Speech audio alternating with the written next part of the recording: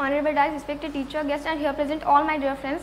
Today we are all gathered here for giving speech on the topic anger. I hope that you will listen my few words silently.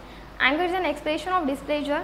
It is one of the basic emotion which is shown by animals and humans. A dog gets angry when it sees another dog in its territory.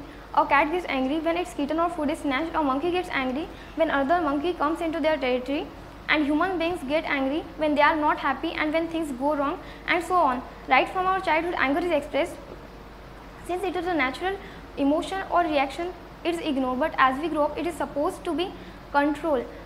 Anger um, anger though expressed for various reasons vary from person to person.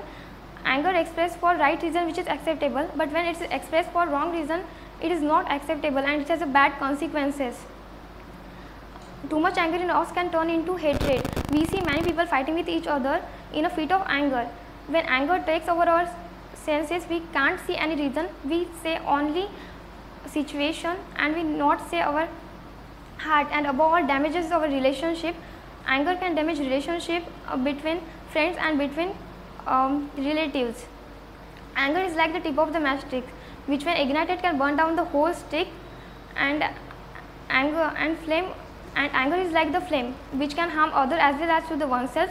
When one get furious, the ability to think takes a back seat and commits irreparable mistakes between few seconds. At last, I would like to tell you some useful lines for anger. A moment of patience in a moment of anger will save you from many moments of regret. I hope as, as far as time factor is concerned, it will be better to take your leave. Thanks for listening my speech silently. Thank you very much.